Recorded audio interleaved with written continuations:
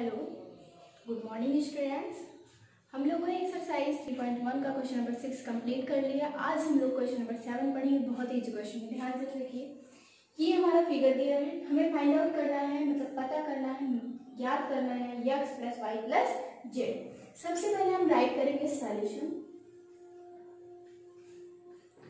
एक चीज़ हमने आपको बताई थी कि अगर एक वैल्यू पता हो चाहे स्टीरियर एंगल पता हो या इंटीरियर एंगल तो स्टीरियर प्लस इंटीरियर एंगल का जो सम होता है वो 180 डिग्री होता है, ठीक है? Exterior angle plus interior angle का सम 180 डिग्री होता है, यानी आधा चाँद बन रहा है तो एक सौ अस्सी अंश होगा मतलब हम यहाँ पे पहले यहाँ से निकालते हैं यक्स की वैल्यू तो X plus ninety degree equal one eighty degree means X equal one eighty degree और ये प्लस नाइन्टी उधर जाएगा तो माइनस नाइन्टी डिग्री तो यक्स इक्वल वन एटी में से नाइन्टी माइनस करिए नाइन्टी डिग्री आ गया। है ना? अब चलते हैं सेकेंड पार्ट पे एंड सेकेंड पार्ट हो जाएगा वाई वाई की वैल्यू नहीं पता. हमको यहाँ पे वैल्यू कोई नहीं पता है है ना? तो इसको रहने देते हैं, यहाँ पे निकालते हैं. एंड जेड प्लस थर्टी तो जेड प्लस थर्टी क्या आधा चाँद बन रहा है? बन रहा है मीन्स कितना हो जाएगा? वन हंड्रेड एट्टी डिग्री तो जेड इक्वल हो जाएगा वन हंड्रेड एट्टी डिग्री ये प्लस थर्टी उधर जाएगा तो माइनस थर्टी डिग्री तो जेड इक्वल वन एटी में से थर्टी माइनस करिए वन हंड्रेड फिफ्टी डिग्री हमारा जेड की वैल्यू हमारे फाइंड आउट हो गई, है ना?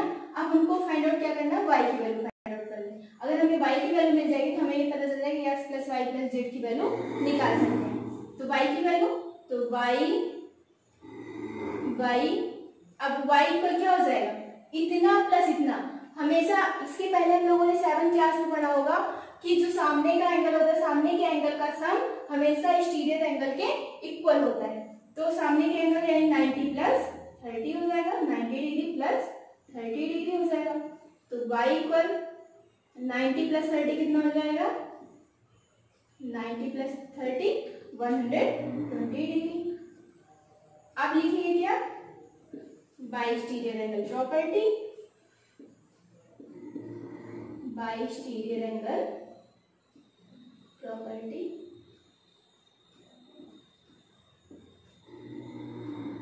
ये हो गया तो X plus Y plus Z equal X कितना है?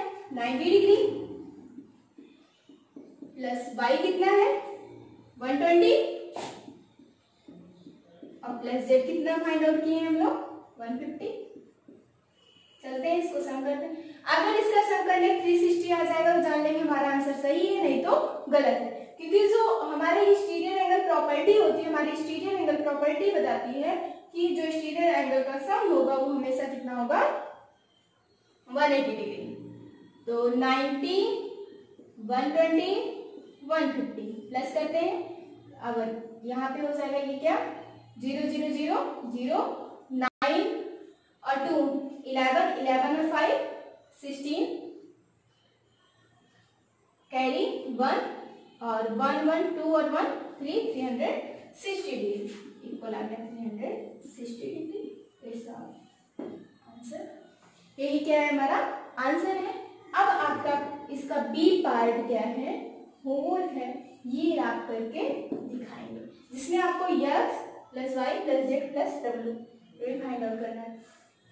अब आप लोग सोच रहे होंगे इसमें साइड फोर है, कोई दिक्कत नहीं। स्टीरियर एंगल का जो सम होता है, वो हमेशा याद रखिएगा 360 ही होगा, चाहे जितनी भी साइड हो, ठीक है?